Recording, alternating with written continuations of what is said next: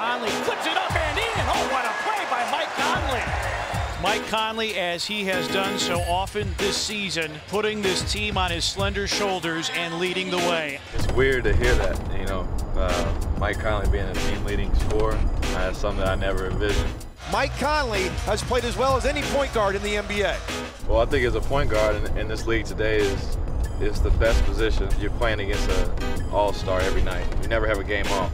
Conley, top of the arc, five seconds. Conley splits a double team in the lane, running right, and a floater is good! And the Grizzlies snatch a victory